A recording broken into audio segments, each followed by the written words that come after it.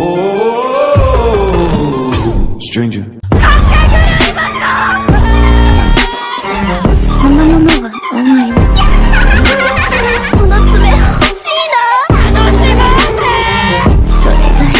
Three most common mistakes when picking up a bead. Mistake number one, the drag.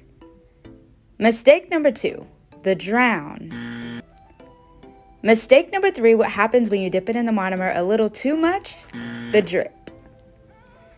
And to get the perfect bead, lightly dip the brush in the monomer, tap one, two, three at a 45 degree angle, and perfecto.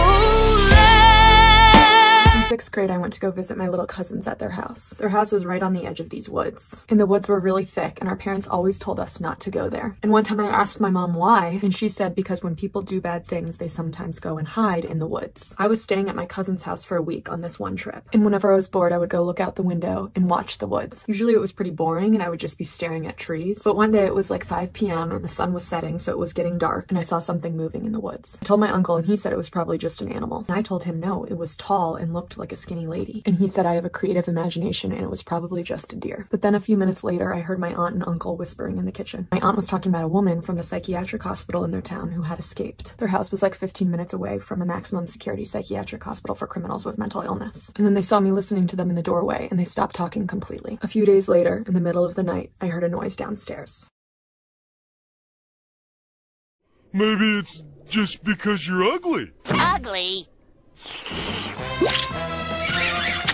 You gotta be kidding me. This is how you can help your favorite creator go viral. Number one, watch their entire video.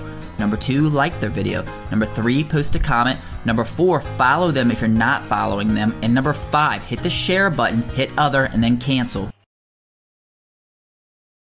This is hands down the easiest way to do marble nails. Dip into three colors with a really wet bead, add some glitter, now place that on the nail and just let it drip.